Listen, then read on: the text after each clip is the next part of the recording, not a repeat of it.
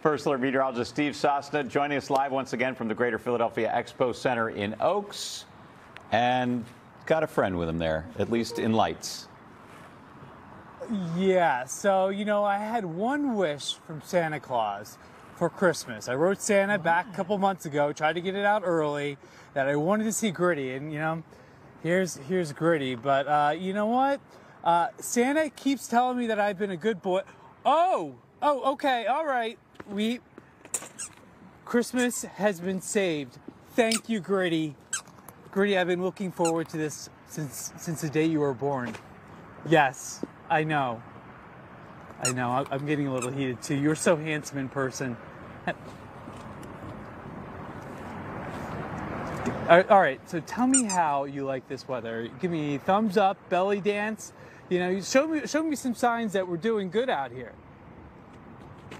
All right. Uh, all right. Thumbs up. Gritty gives us a thumbs up. Thank you, my handsome friend. I know you've been a very naughty boy.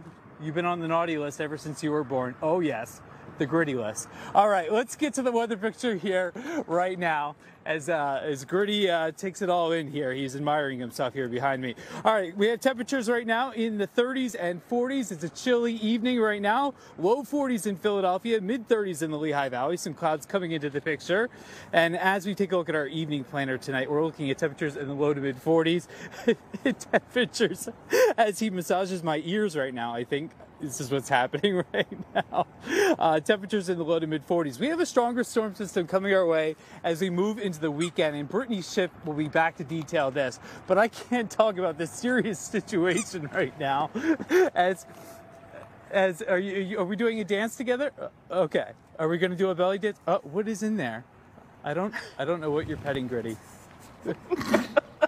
my god. Okay, I'm going to turn is it over. happening? oh, oh, oh! This is this is uh, Gritty's love language right now, um, and I'm still trying to understand it. But there you go. Thanks, Grit. It's 4:35. We might point out here. Gritty, oh my This is goodness. his way of saying that he loves us and that he wishes that you were here. I think.